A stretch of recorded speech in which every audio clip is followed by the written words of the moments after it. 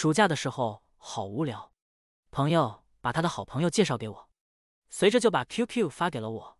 之后我就觉得他就是那么随便一说，也就把加好友的这个事情给忘记了。但是几天之后，突然有人加我，说是朋友的好友张贤，我就这么加上了他。我和张贤一开始搭上话就很随意，像认识了很久的老朋友似的，没有丝毫的生疏。第二次聊天。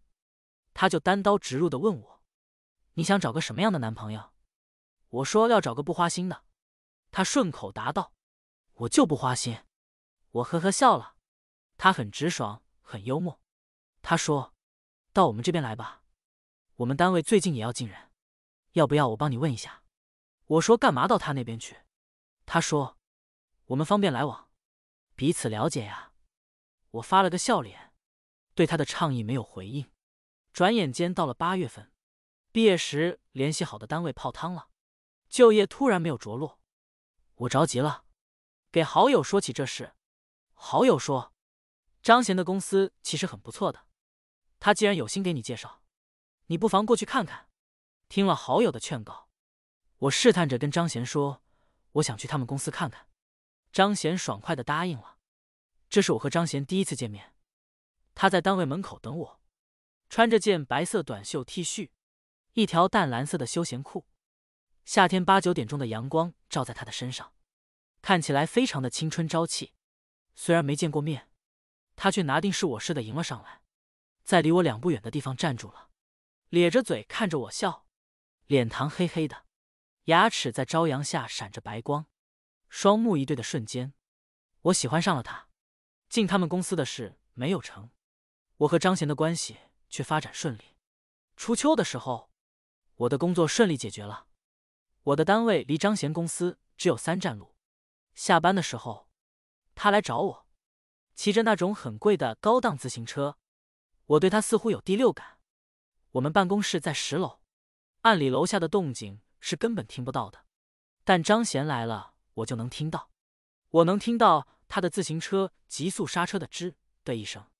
能听到他锁车时的咔嗒声，或许这一些声响根本不是用耳朵听见的，而是用心感觉到的。我知道他来了，倚着窗户往楼下一看，果然看见他潇洒的停车、锁车，然后就消失在楼门里。不等他打电话，不等他上楼，我就赶紧下去了。秋天过去了，我和张贤的热恋期也过去了。冬天来了，我工作忙，我们一连两周时间没见面。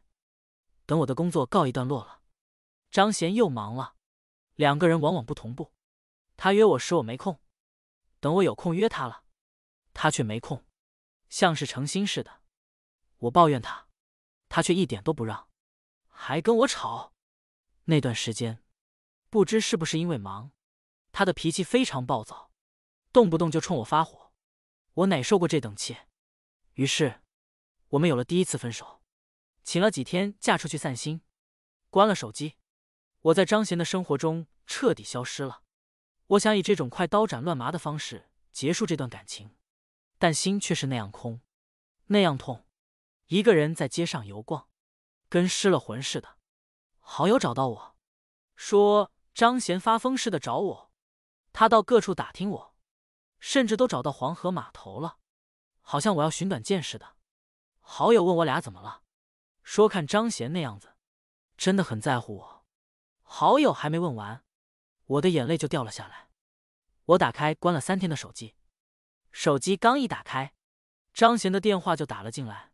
我真的错了，再给我一次机会，好吗？他苦苦的哀求道。